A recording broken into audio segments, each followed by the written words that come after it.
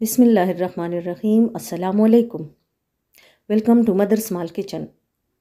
I hope सब ठीक ठाक खुशबाश और खैर खैरियत से होंगे।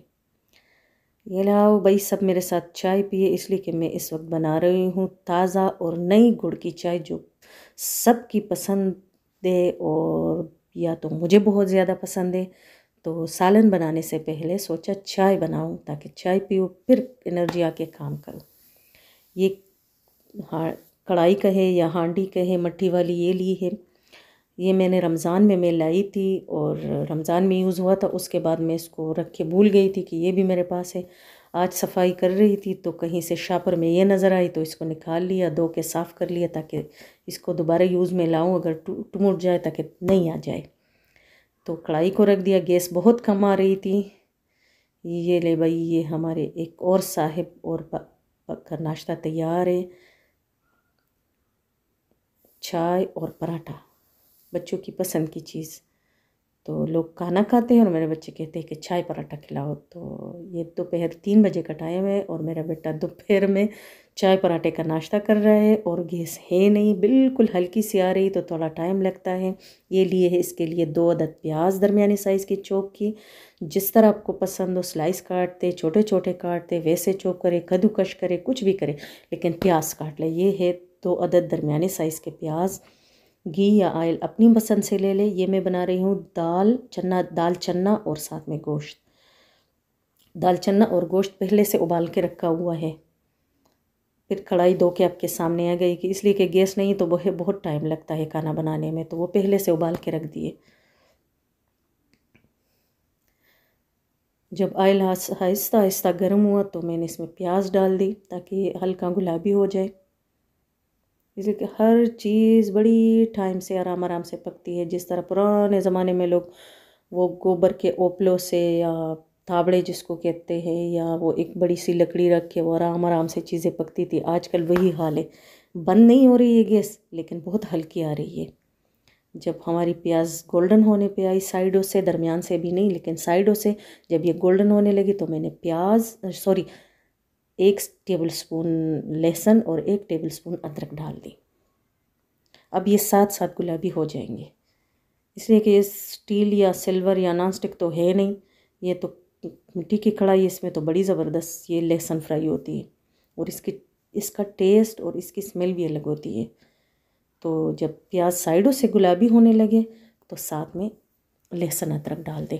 जितना आपको पसंद हो, मैंने तो एक एक टेबल स्पून भर के लिया है। थोड़ी सी यखनी भी डाल दी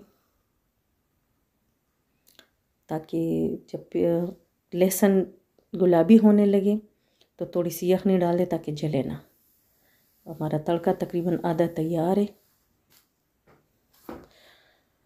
बड़े कहते हैं कि मिट्टी की कढ़ाई बड़ी अच्छी होती है, लेकिन हमसे संभलती नहीं या मेरा चूल्हा ऐसा है कि उसके ऊपर रख के वो इधर उधर इधर उधर चलती है।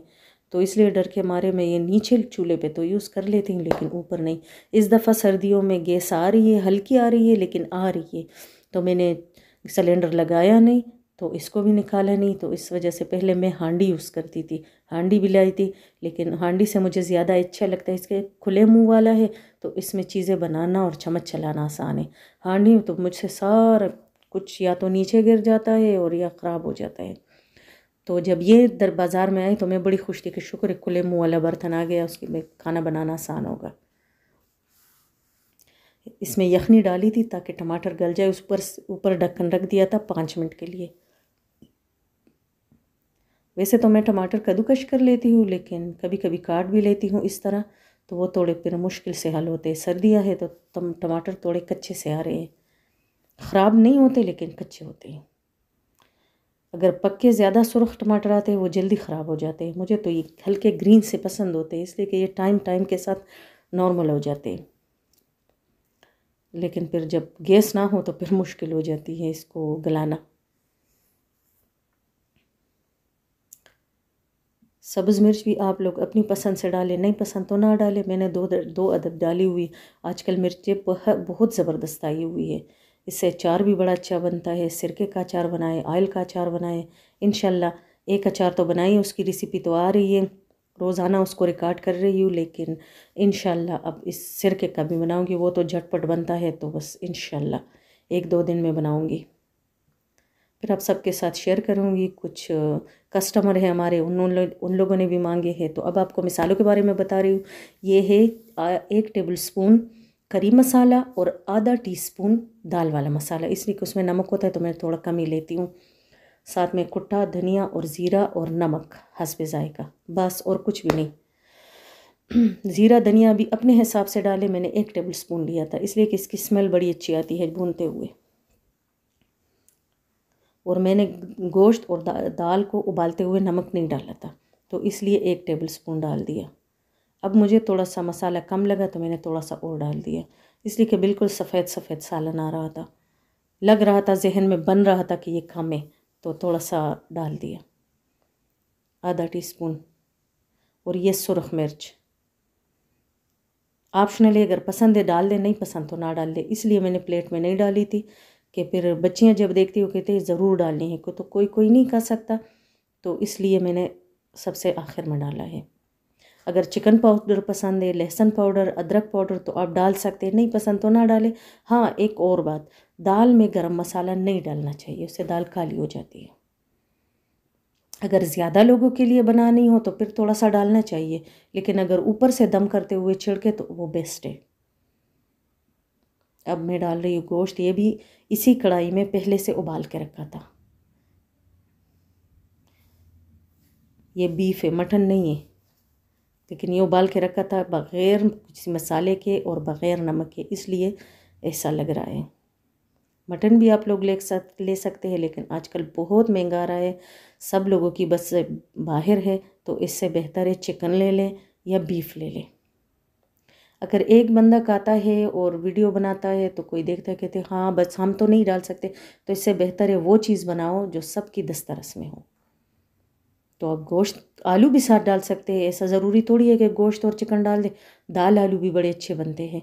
आलू उबाल के डाल दे या इसी तरह आलू, प्याज, टमाटर के साथ जब प्याज और लहसुन फ्राई हो जाए, टमाटर और आलू साथ डाल के, नमक डाल के, ज़ीरा, धनिया डाल के उसको पका लें, फिर मसाले डाले ताकि वो ज़्यादा पी लेना हो। फिर दाल डाल दें और थोड़ा सा भून के फिर दाल डाल दें। जिस तरह गोश्त को भुना जाता है, लेकिन जब आलू के साथ बनानी हो दाल तो मसाले बाद में डालने चाहिए। सिर्फ़ नमक और ज़ीरा धनिया डालना चाहिए और टमाटर और आलू एक साथ डालने चाहिए। जब हम, हमारा गोश्त अच्छी तरह भुन गया तकरीबन दस से पंद्रह मिनट, फिर मैंने इसमें दाल डाल दी। अब मैं डायरेक्ट इसमें इसको मिक्स करूँगी और फिर यखनी डाल दूँगी। ये एक पाव दाल ली है, इससे भी थोड़ी सी बचा के वो कटलस में डाल डाली थी, ताकि थोड़ी कम हो ज़्यादा फिर ख़त्म ही नहीं होती। अभी भी मुझे ज़्यादा लग रही है, लेकिन चलो, एक दो टाइम तक चल जाएँगे कि किस, कोई और काम कर लेंगे इस बहाने से, कि सालन तो है।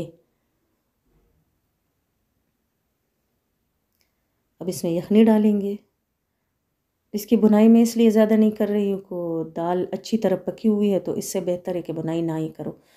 अब यखनी डाल दी। ये मैंने पहले गोश्त उबाल लिया, जब गोश्त को निकाल लिया, इसी स्टैनर में उसके बाद उसमें दाल डाल के उबाल ली।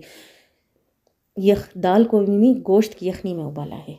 तो इसलिए मैं इसको ज़्यादा नहीं भूनती ताकि ये टूटे ना, ये टूट, पहले से अच्छी तरह हो गया था। अब जो दाल मैंने बचाई है, वो मैं कटलत में डालूँगी। इसके ऊपर ढक्कन रख दिया।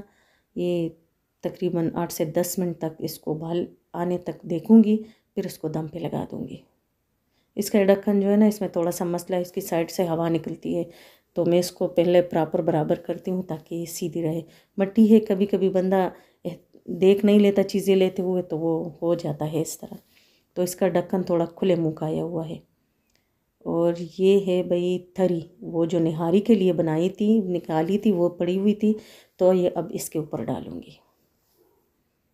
ये आ, तीन पाव गोश्त है और एक पाव दाल है। और अच्छी खासी भरी हुई हांडी। पक गई है। ये निहारी का आयल था तो इसलिए वो आखिर में बचा के साइड पे कर लिया और बाकी इसमें डाल दिया। दाल में थोड़ा सा ऑयल ज़्यादा लगता है और ये गरम मसाला ऊपर से छिड़कूँगी और दम पे लगा दूँगी।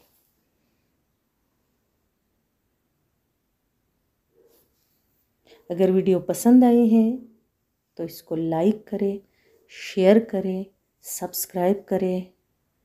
और बेल खट बटन दबाए ताकि आपके पास हमारी रेसिपी जल्दी जल्दी पहुँचे। अब गरम मसाला डाल दिया थोड़ा सा जितना आपको पसंद है, लेकिन मैंने हल्का सा डाला था, साथ में धनिया डाल दिया और इसको दम पे रख दिया। और जब खाने का टाइम हुआ तो दोबारा इसको गर्म करके आपके सामने ले आई। और इसके ऊपर से मिर्च और धनिया डाल के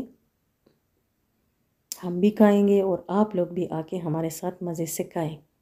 साथ में कटलेट पड़े हुए थे, लेकिन वो हमने हटा दिए, इसलिए कि उसकी रेसिपी पहले आई हुई है। अल्लाह ताला सबको अपने घरों में खुश और आबाद रखे, सबको बच्चों की खुशियाँ दिखाए, सबको कामयाबी दे, सबको सेहत, ज़िंदगी दे। अल्लाह सबके रिज़क में बरकत दे, खानों में बरकत दे, सबके दरस्तखान वसी करे और अल्लाह ताला सब पे अपने माँ बाप, सास ससुर का साया सलामत रखे और हमें भी दुआओं में याद रखे। अल्लाह ताला सबका हामी व नासिर हो। अल्लाह हाफिज़।